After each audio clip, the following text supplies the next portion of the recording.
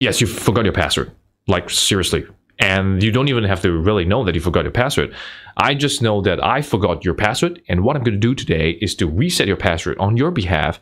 And then after which, logging into your account on your behalf. So I'm helping you out here because I forgot your password and you forgot your password. Yes, exactly. So this is going to be what the tutorial will be about today.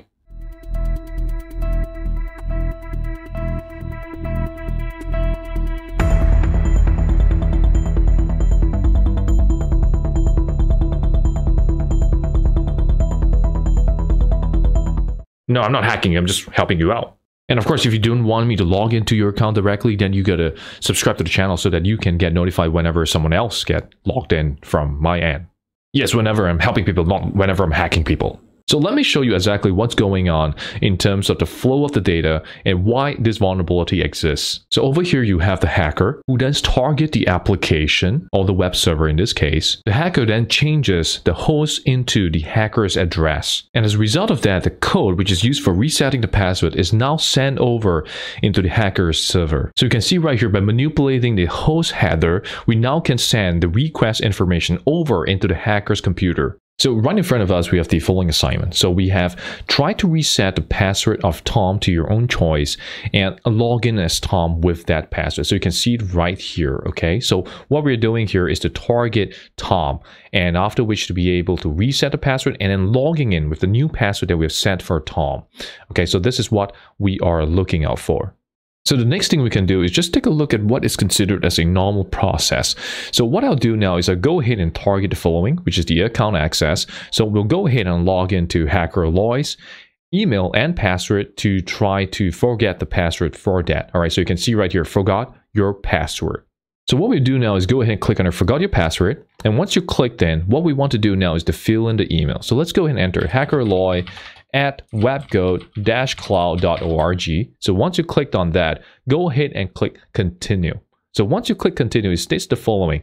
An email has been sent to hackerloy at webgoat-cloud.org. So jumping over into our mailbox, you can see the following right here. So I'm logged in as HackerLoy, so you can see on the top right corner.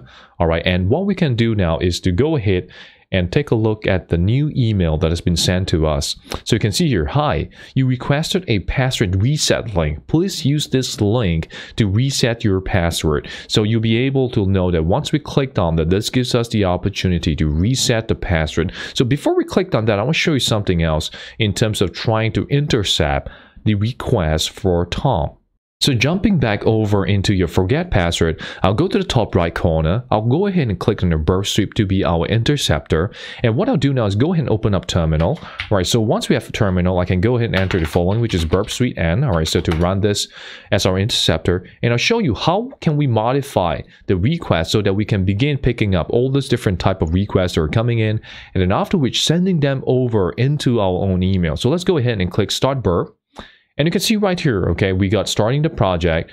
Go under the proxy tab, ensure that you have proxy tab, the intercept is on. All right, so you can see here, we have intercept is on. So once intercept is on, what you can do now is you can go ahead and jump back over into WebGoat and I now can enter tom at webgoat-cloud.org, click continue, and now you can see the interception has been put in place. So if I jump over back into Burp Suite, or I can forward those of the others that are commonly being sent as requests, okay? And then after which, once we have the interception for Tom, what we can do and see here is the following.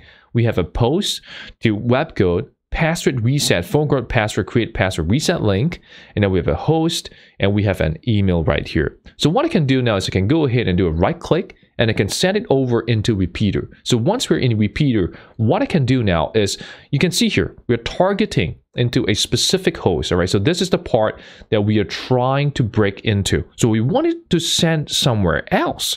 So we can target a different IP address, a different port number. So in this case, what I'm going to do now is to go ahead and go to the following, all right, which is to change this over to port 9090.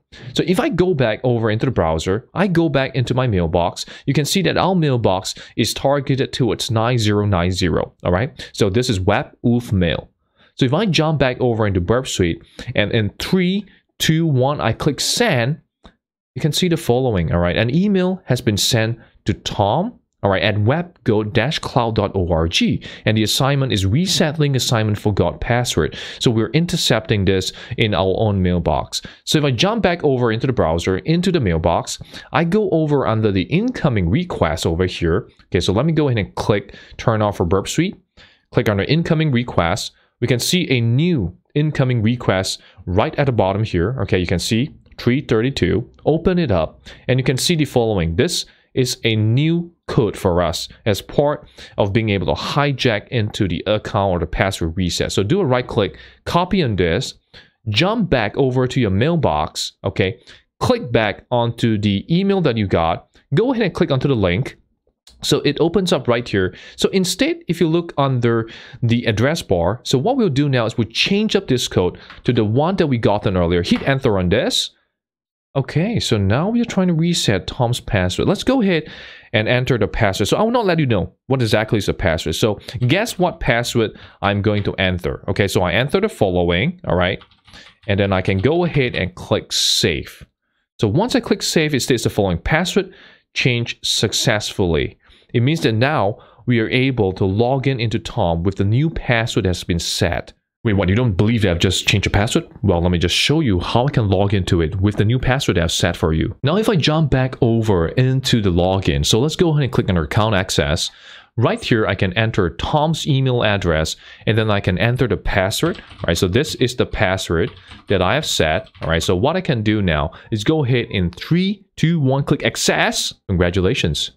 You have successfully completed the assignment. We are in. It's game over. You're most welcome. Me helping you reset your password, that's nothing. So once again, I hope you learned something valuable in today's tutorial. If you need help being able to reset your password for you, enter your email address onto the comment section.